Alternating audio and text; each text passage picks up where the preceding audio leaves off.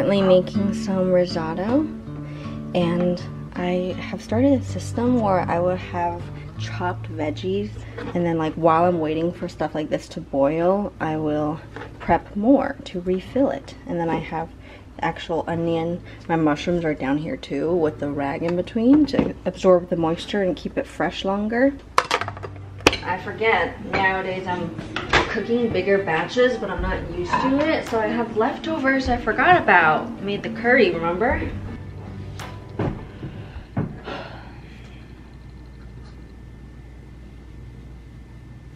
I hope I don't look too scary. I realize I'm in the dark and now that I have black hair, I kind of scare myself. I really appreciate Prairie for being here. I thought I would get up and Prairie.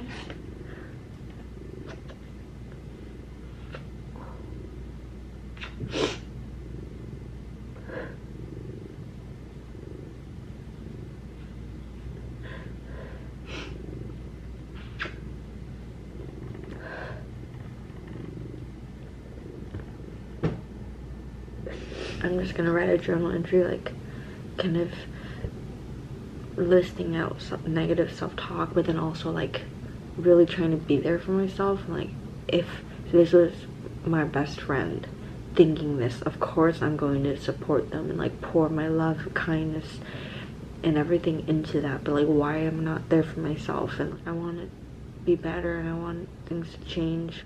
I just couldn't go to sleep. Like today I wanted to have a full work day and I thought I should limit it to eight hours. So I actually timed myself while I was editing and I only edited for five and a half hours but it felt like much longer than eight hours and I think it's because the whole time when I was staring at that screen like I wasn't really enjoying it. This is one of the times where making personal content is such a weakness I think because when you're making art maybe or if you're at a job or like you're kind of not thinking about yourself you can just focus and put your mind and focus on that task at hand. But when i'm like having a really low self-esteem day or just like a really negative day and looking at myself i constantly just feel like disdain like constantly and like to spend time looking at myself and like continually judging myself without having any way out of that negative loop is so exhausting. And I just kept trying to push on because I have a lot of deadlines and I know that after the next few days it'll get better. So I was like just just edit just like just try to edit just put out the video tomorrow you can do it you can do it. And I just like couldn't focus anymore tonight so I tried going to bed and then when I laid down in bed I just felt so alone. Like I I feel like I'm not there for myself. Like I abandoned myself because I like I try to really get down to the core feelings. And I feel like this emptiness and like this belief that I'm so worthless. And like I think back to it and I just think like I feel like all my life I've never really felt worthful. Like I've when my father abandoned me when I was little, like, it, not, uh, that wasn't like the only thing that's ever hurt me, but it definitely like shaped me to believe, like, I genuinely believe I am worth and I deserve to be abandoned. And like, because of that, like, so many of my current actions come from fear because I deep down believe that I deserve to be abandoned or treated like I'm worthless. And that makes me so sad to feel that I believe that. I have really good days and bad days. I know it's a bad day and that's it. It's okay. And my New York Diaries kind of thing, I just wanted to capture and be more honest, I guess. Because in a way like being able to talk to you right now makes me feel less alone too. When i went to RISD and like the girl that was like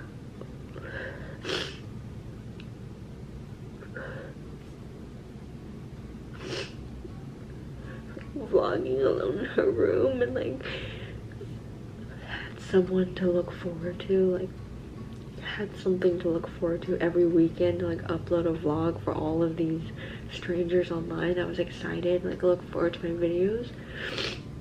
I'm really grateful for that period in my life too that like I didn't feel alone all of those years when I like came to new school didn't have friends or family so it meant a lot to me I had so many things to address and I was way more immature. I'm immature now, but I was way more unaware immature when I was 17.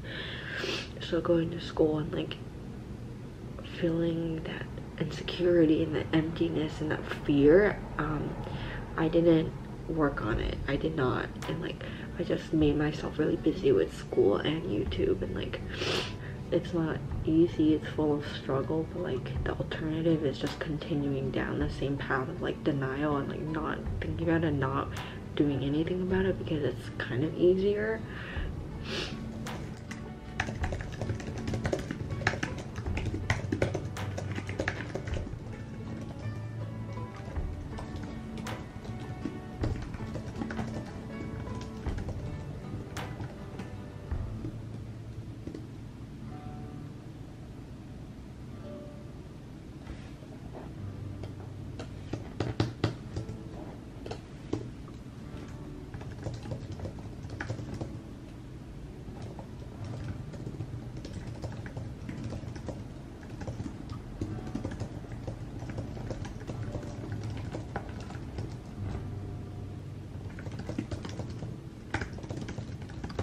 Saturday.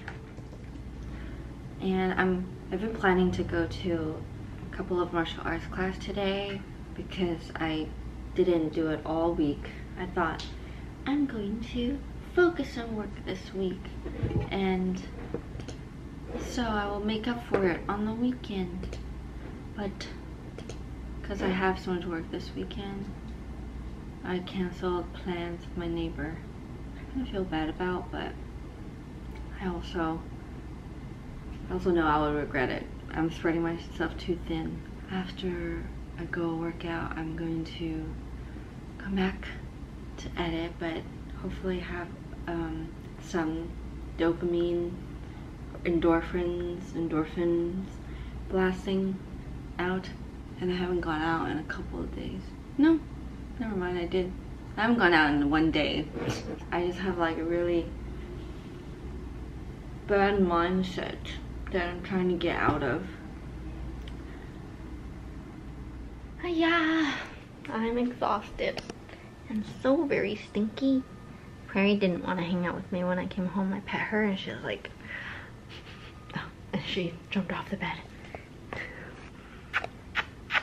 I will shower. I treated myself to Sweetgreen for lunch and I have a blister on my big toe every time I go to Muay Thai class. But I will say it was a good, kind of like a good push, what I needed to clear my head. All of the drills and the stuff that you learn, I get so focused and the pacing is just like immediate and kind of keep going.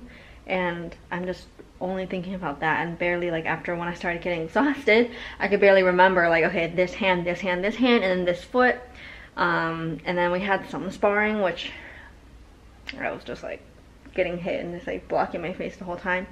Um, I mean, a couple times. Uh, it's like, okay, but um, point is uh, I do feel some endorphins. I do feel a little too exhausted because I have not done Muay Thai for like three months. So not the best for going back to work. All I want to do is lay down with a book. I've been noticing gaps in my memory today, which isn't normally me. I just realized I didn't eat anything before I went to class. No wonder I was so um, tired because I got a bagel this morning and then I bit out of it and then I was like, why does this bagel taste bad? And then I'm like, oh, I didn't toast it because, you know, I love my toast. So then I put it in the toaster and then I left. It's like a rock now. I think if I microwave it, it can get softer.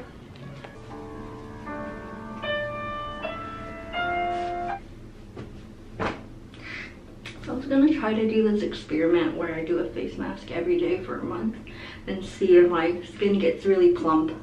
But I am so lazy, I don't have the will to do that. I do know some people that actually has like an extensive routine every day and their skin is beautiful, like a baby's ass. well, plump like a baby's skin. That sounded pedophilic. All butts are beautiful, except cigarette butts. I'm so close to using this primer to the end. It supposedly only has a six month shelf life. It's been over a year. Kind of look like my mom. I want to have a sheet mask on. It's kind of scary. I mean, yeah, it's really scary how much I look like my mom in the viewfinder. Don't laugh.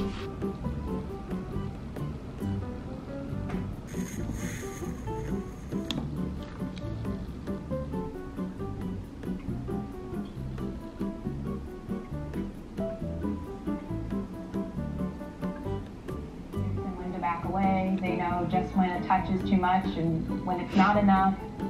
They seem to always get it right. And a recent study offers a new clue as to why dogs seem so emotionally attuned to us. Trained dogs to lie perfectly still in MRI scans. And so now you have the capacity to do these fantastically rich, detailed images. Hello, I have arrived at the studio.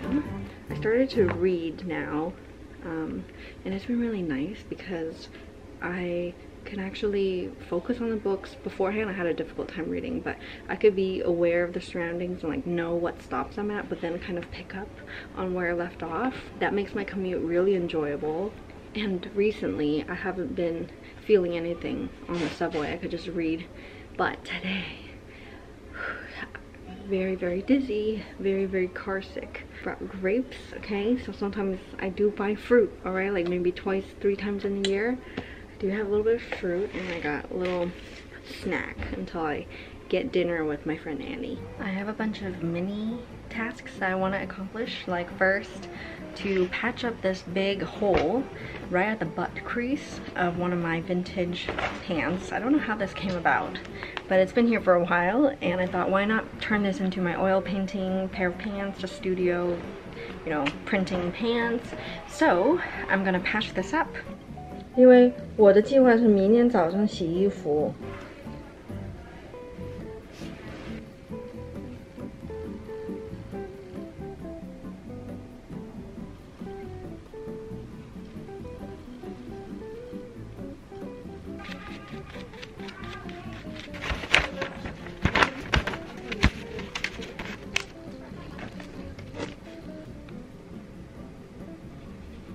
，I have stayed a little bit longer than I intended, but I just got really carried away in the oil painting and I've been wanting to wake up earlier and adjust my schedule so that I could go to the park or jog or something to begin my day and that's still my goal. It's still down the road, but I also realized I get way too anxious if things don't go to plan and that's something I want to work on and it just seemed like it meant to be when the latest episode of my favorite podcast that came out last week is talking about control and where that stems from and the baggage. And so I've been inspired to just kind of enjoy my life, bring more joy to my life and just do what I want sometimes knowing like okay I could I could um, try my best to go to bed early and adhere to that schedule tomorrow or the next week. But tonight, I just, for the first time, got to paint for hours on end. I had my dinner with my good friend and I totally forgot to vlog. But I must say, that place has the teeniest portions ever. We were laughing. To be honest, I'm still hungry. And um, it was 20 something dollars per person too. So I've just been working on pet portraits because that's what I'm easing myself back into. I want to do like a combination of still life, portraitures, and let my realism come out because that's what I was trained in, that's what I'm comfortable with, and I need to ease back into oil painting by first just picking up the brush. And then another goal of mine eventually is to be able to plan out scenes, make more abstract paintings. Okay, I painted my friend's cat and I really like it as is. At first I was struggling with the underpainting and this is meant to be the first layer. So I went in with burnt umber, oh I'm sorry, with um, yellow ochre and then I went over that with royal blue. No, no, must be another kind of blue. And from afar, the visual crossover makes a brown tabby and I kind of love that. And I love that the green is the color of his eyes but I didn't put that in yet. So I feel like all I want to do after this is just draw in some of his features and put in his green apple eyes and leave it here. Okay there's nothing wrong with imitating a photo making it look really realistic but like also I didn't set out to do it. It kind of happened on accident. So my goal is to have a little more creative control so this is Pepper, as you all know. Um, if you watch Hannah or follow her on Instagram, I really wanted to paint Pepper and I haven't finished it yet, but I think one or two more sittings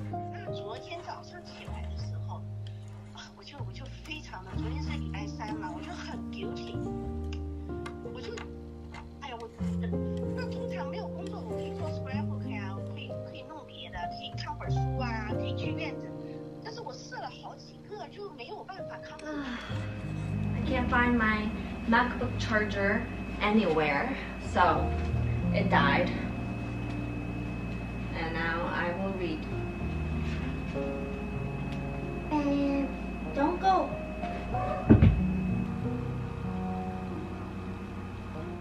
Update. The little guy's back. Probably just needed some water.